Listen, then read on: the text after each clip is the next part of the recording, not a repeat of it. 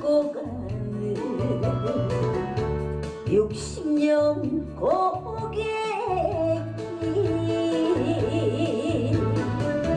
고준비야 오지 마라. 억수장 맞으면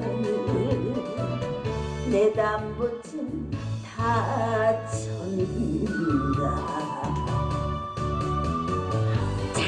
장례장터 가는 길은 오늘따라 먼데. 누가 먼저 잡았느냐? 조막에 눌러 앉아.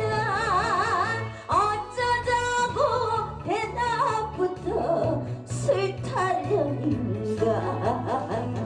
그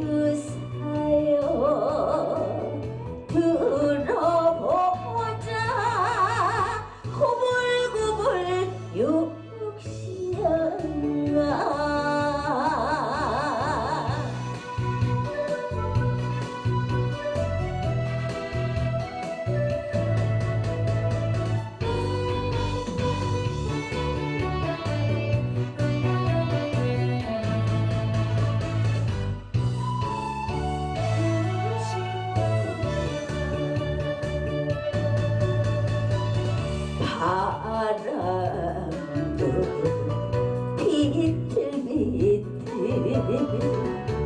육십년 고객이 영각사의 총소리 누가 너를 치길래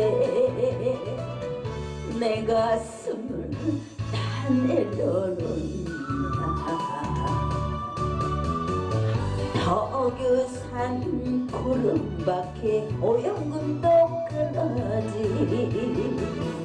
무심한 할미봉에 전설만 피고 지네 인생이 뭐냐고 묻지를 마.